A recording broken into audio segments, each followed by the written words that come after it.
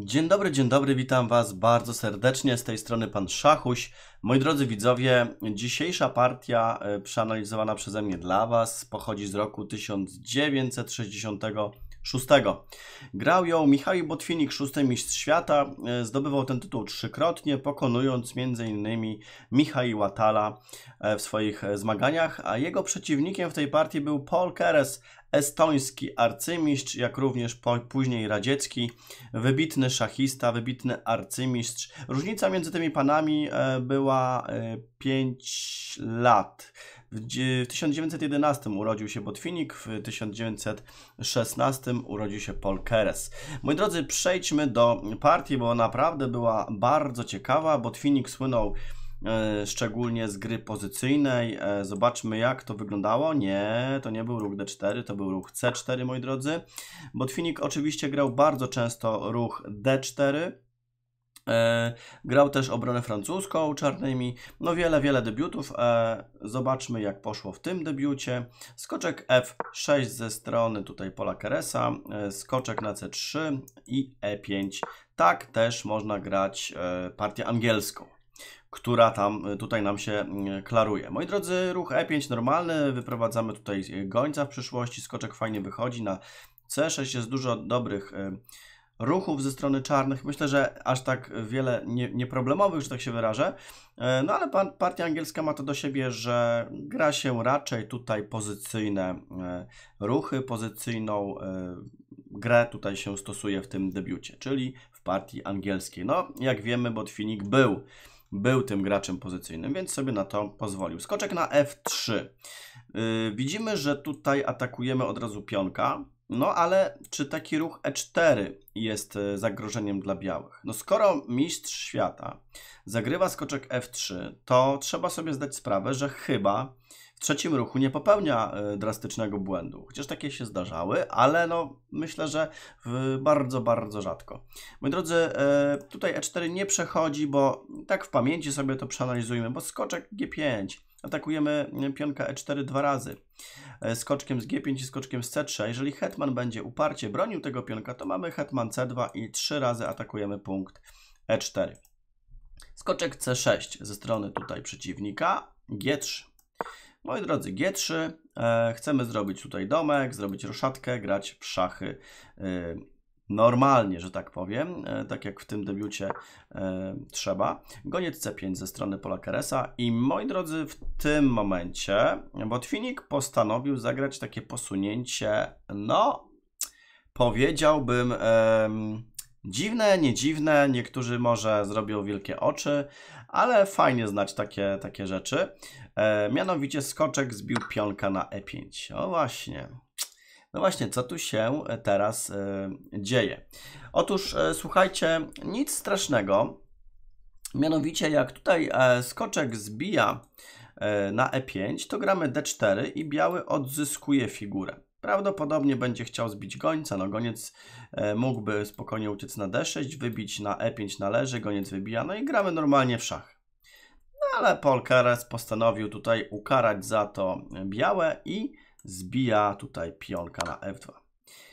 Ciekawe zagranie, ale wierzcie mi, że to nie jest straszny błąd dla, mm, dla białych, jeżeli białe tutaj wcześniej zbiły na E5. Tu się nic strasznego nie dzieje, trzeba po prostu wybić na F2, skoczek bije na E5. No i można powiedzieć, że król jest zderoszowany, e, ale są tego plusy, już mówię jakie. Przede wszystkim, moi drodzy, pierwsza rzecz, plus jest taki, że jest para gońców. Drugi plus jest taki, e, że możemy tutaj konstruować centrum dosyć szybko. No minus jest taki, że nie ma tej roszady, prawda? Ale pozycja jest około równości, e, więc e, kwestia, jak to powtarzam, kwestia gustu. Kto lubi grać to białymi, a kto czarnymi. E, I teraz ze strony tutaj Botwinika nastąpiło E4. Powiem Wam w tajemnicy, że takie dosyć dynamiczne posunięcie to by było zagranie D4, nie, bo, nie obawiając się tutaj zbicia pionka, potem gramy na przykład E4 z atakiem na skoczka i dosyć silne centrum, no jakiś szach może nastąpić oczywiście, przyszłości, ale tego się ruchu nie boimy, bo król G2 na przykład się chowa, chociaż widzimy, że hetman cały czas kontroluje e, punkt G4.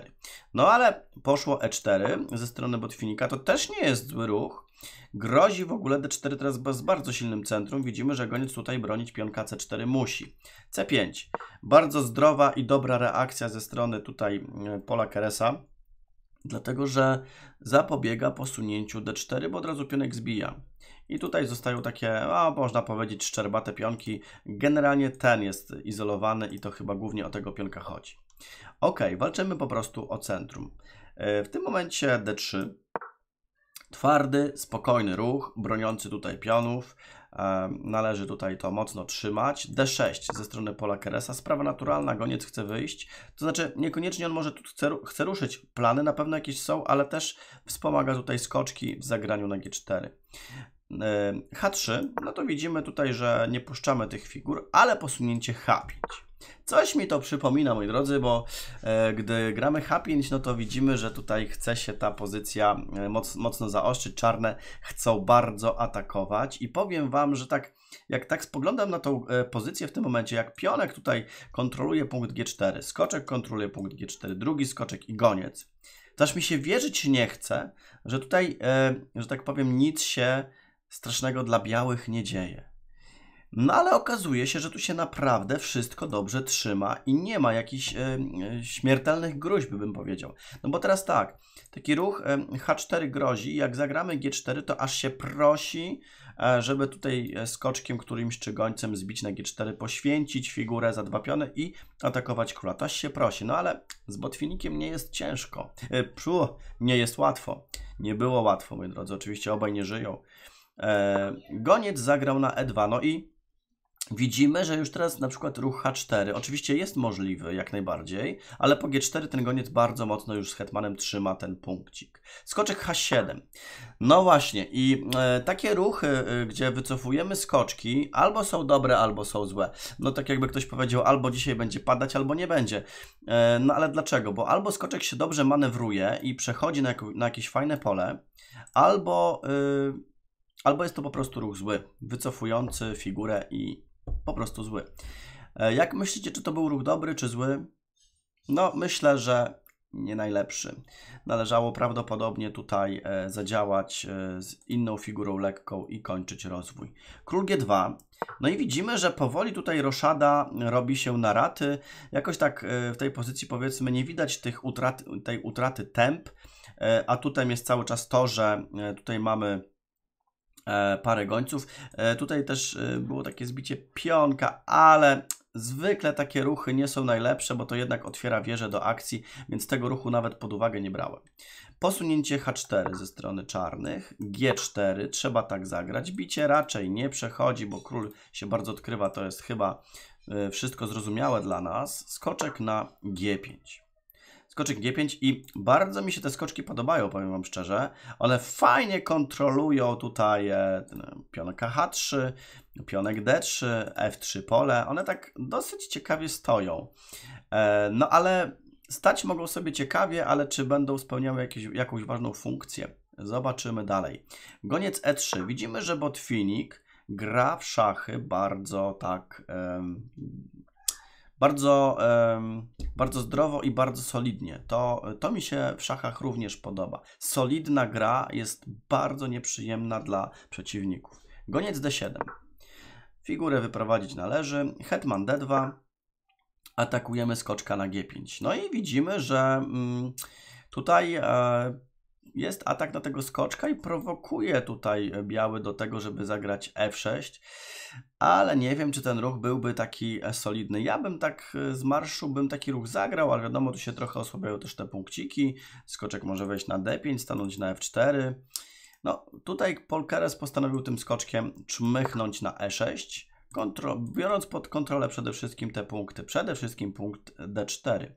No i teraz y, posunięcie botwinika, y, bardzo, bardzo ładne, bardzo dobre, nie jest trudne i jeżeli poznajemy pewne motywy, pewne idee, to na pewno ten ruch nie będzie trudny. Y, jaki ruch byśmy tu zagrali? Znaczy, na początek patrząc to wydaje się, że to jest trudne posunięcie, ale już wytłumaczę.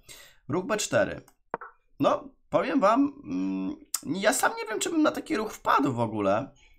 tak na szybko, że tak powiem, mając na przykład minutę czy dwie, e, ale ten ruch e, właśnie trzeba analizować partię, bo poznajemy w ten sposób fajne idee. Głównie tutaj chodzi o to, że jak pionek zbije na, B, na B4, widzimy, że nie możemy odbić żadną figurą, ale wskakuje skoczek na D5.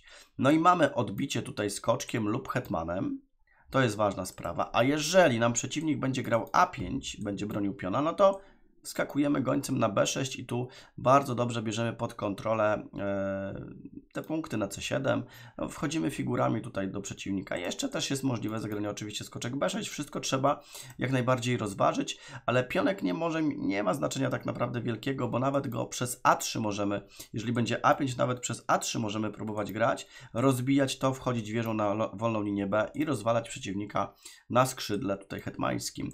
E, no i teraz y, po ruchu B4 4 Polkeres postanawia zagrać B6, trzymając tutaj strukturę pionków, żeby nie puścić tutaj przeciwnika za łatwo ty, tymi figurami.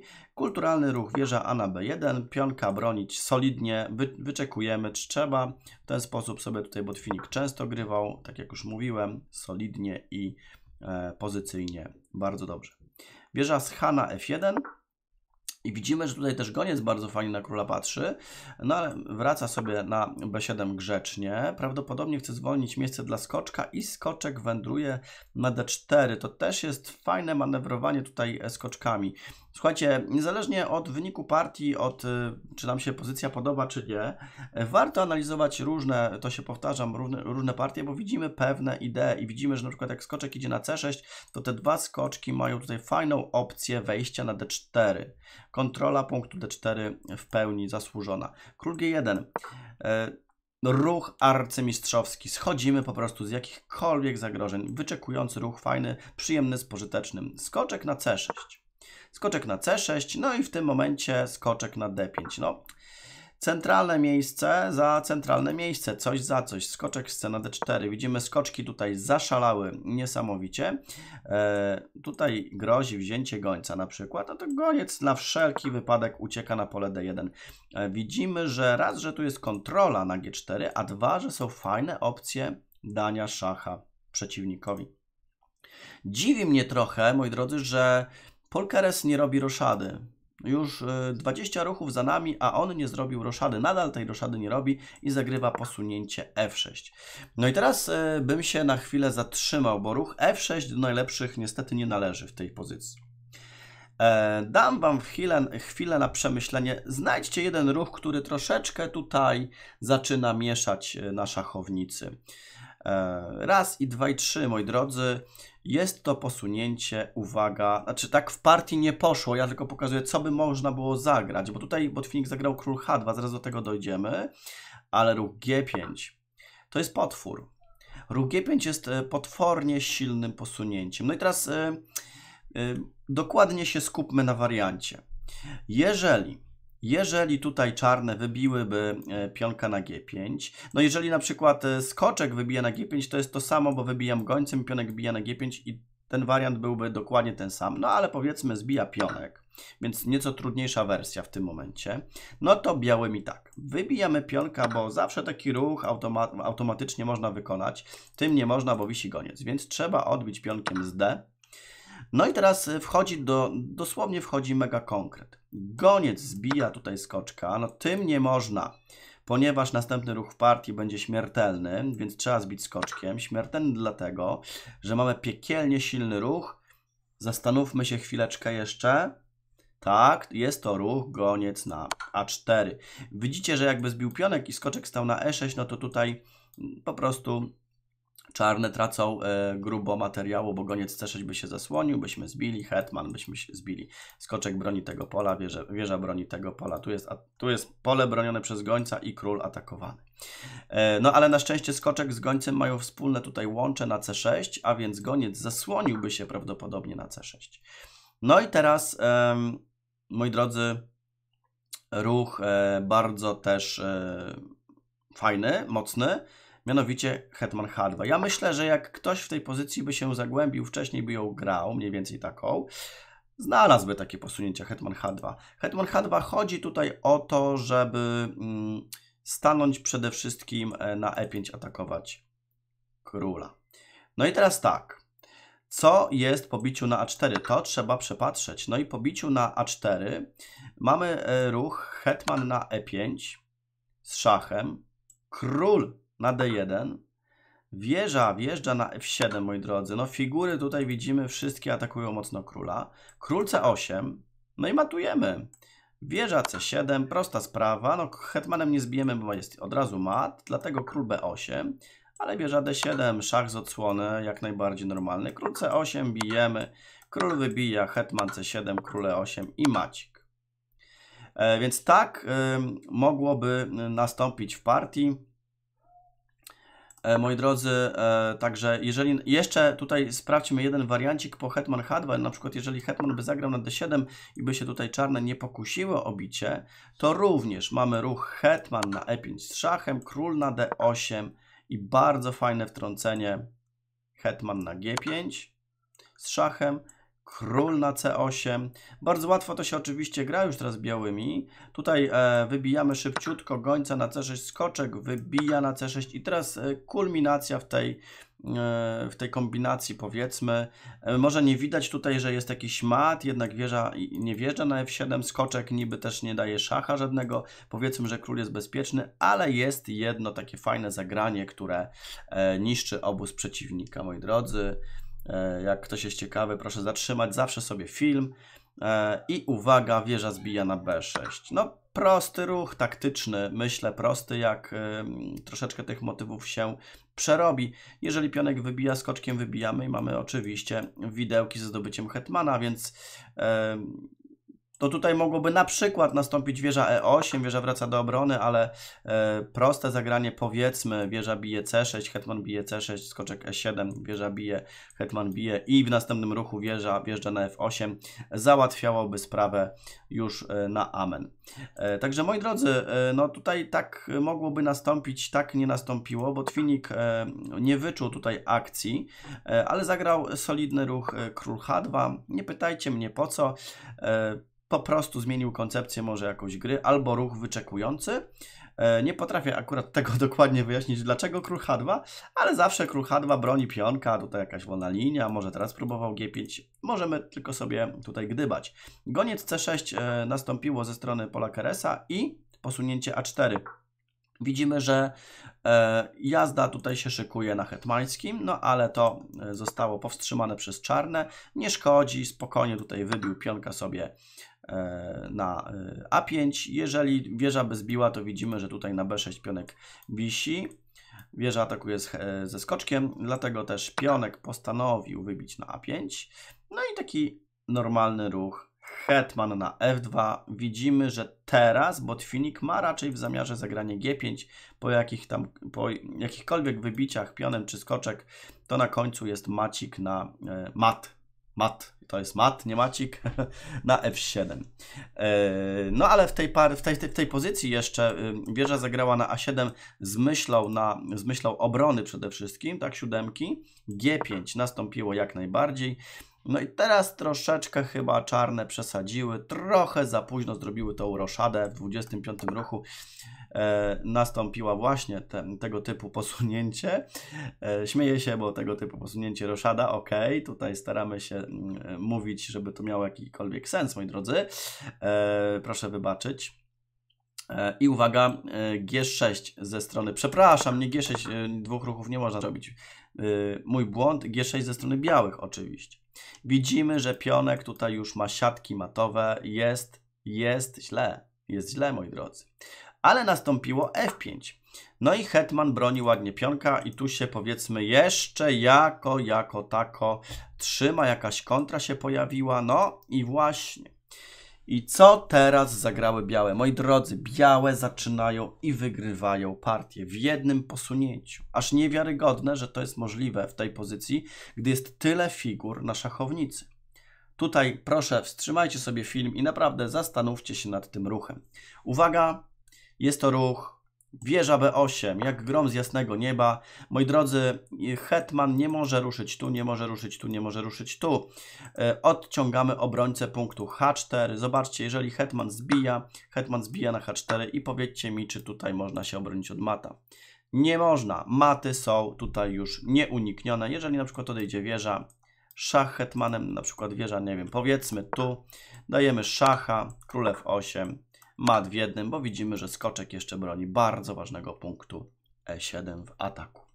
Dzięki serdeczne Wam za uwagę. Mam nadzieję, że partia Wam się podobała. Grajcie w szachy, subskrybujcie, komentujcie, łapki w górę. Dzięki serdeczne, że jesteście i do następnego razu. Trzymajcie się. Hej!